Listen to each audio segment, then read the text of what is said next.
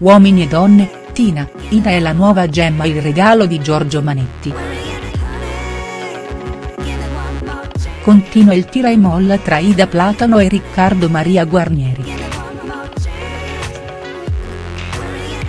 Nel corso della puntata del 12 aprile il cavaliere Tarantino ha ribadito la volontà di interrompere la conoscenza per alcune incomprensioni con la dama. Quest'ultima, dopo aver parlato con Gianni Sperti, ha spiegato di voler provarci ancora mentre il cavaliere ha deciso di lasciare lo studio. Ida l'ha raggiunto fuori per un nuovo chiarimento mentre Tina Cipollari ha battezzato la Platano come la nuova gemma. Prosegue la conoscenza tra Cancelletto Giorgio Manetti ed Alessandra. Quest'ultima ha riferito di trovarsi bene con il toscano. La prima volta siamo stati insieme a Verona per sette ore mentre la seconda volta sono andata a Firenze e c'era lui che mi aspettava sul binario.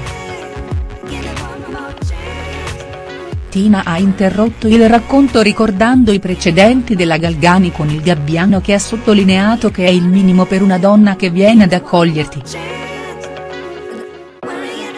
Siamo stati al ristorante che fa parte del tagliando ed abbiamo mangiato bene, non un semplice panino.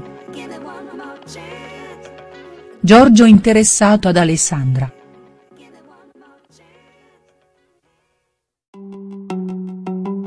Alessandra ha rimarcato che la conoscenza prosegue nel migliore dei modi e che si trova bene con il fiorentino.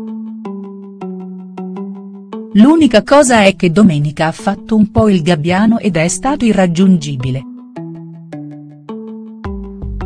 Manetti ha chiarito che ha trascorso la giornata con gli amici. Non siamo fidanzati e se mi va di vedere gli amici un giorno non ci vedo nulla di strano. A questo punto Gianni Sperti ha fatto una battuta. Anche lui la domenica riposa.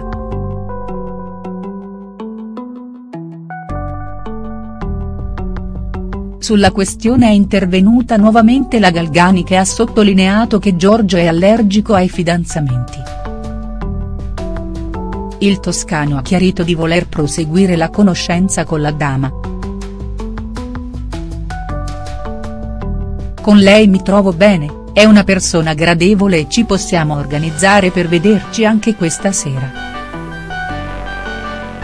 La sorpresa ad Alessandra, i ricordi di Gemma.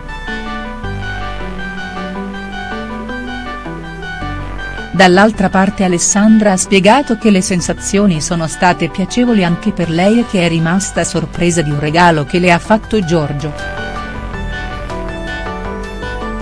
Quest'ultimo ha spiegato di aver comprato una borsa di pelle alla corteggiatrice. Su questo particolare è intervenuta la dama torinese spiegando che il cavaliere l'aveva regalata anche a lei.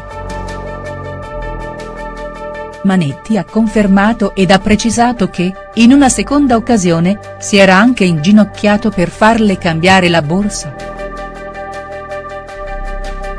Questo non lo ricordo, non l'ho voluta cambiare perché mi faceva tornare in mente un momento piacevole. È rimasto un cimelio.